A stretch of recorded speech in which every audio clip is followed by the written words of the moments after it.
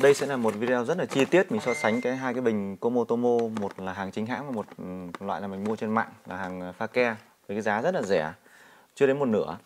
Thì ở video lần trước mình đã hướng dẫn cái cách mà phân biệt mà bằng cái cách quét mã đây mình làm lại nhé. Các bạn chỉ cần cài cái uh, phần mềm hai lần tác. Đây quét vào đây. Bình này là không ra này. Đây bình này không ra nó nó cứ nháy nháy nháy nháy như này. Còn bình này cái ra luôn. Nó ra như này thì là hàng chính hãng này đấy, thì cái việc, cái đấy thì đơn giản rồi.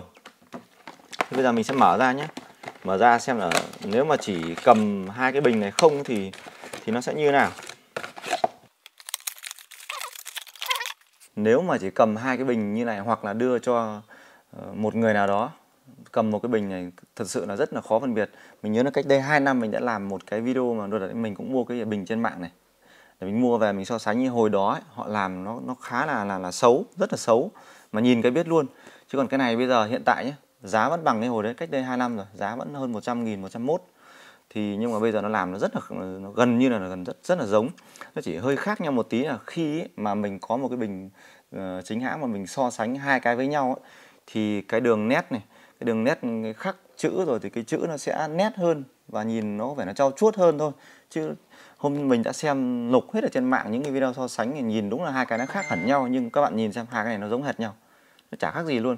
Mình đã đưa cho cả nhân viên của mình xem thì các bạn ấy phải mất đến ba bốn phút có người còn trả lời sai mặc dù bán cái này là rất là lâu rồi. Đấy, thì thực tế là có người là bảo là ngửi mùi nhá.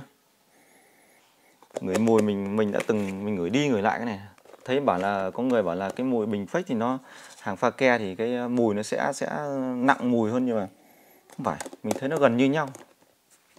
Đấy có chăng là chỉ có những cái đường nét ở đây nhìn nó nó không được xịn mà cái bình nó nó vẫn còn một đây nó còn một cái chút chút ở chỗ này còn một cái cạnh nhựa thôi. Đấy với thứ hai ấy, là cái chữ nó sẽ kém nét hơn cái bình thật này một chút. Thế thôi.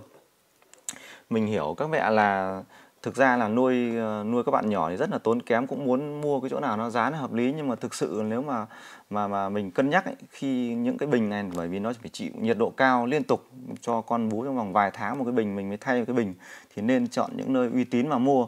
Mình chỉ biết khuyên thế thôi bởi vì là bởi vì là cái giá rồi trên mạng thì nó tùm lum nó rất là khó. Đấy. Nên các bạn cân nhắc nhé bởi vì chẳng có ai mà mua hai cái bình cùng một ừ, uh, hai cái bình giống hệt như nhau mà để so sánh giá cả để so sánh hai cái bình với nhau cả ít như thế lắm. Bởi vì mình thấy cái chỗ mà bán cái bình nó bán được uh, có chỗ thì bán được bốn năm nghìn có chỗ thì bán được uh, mười mấy nghìn cái bình chứng tỏ là cái chỗ này bán cực kỳ nhiều luôn. Đó. Video mình xin kết thúc ở đây.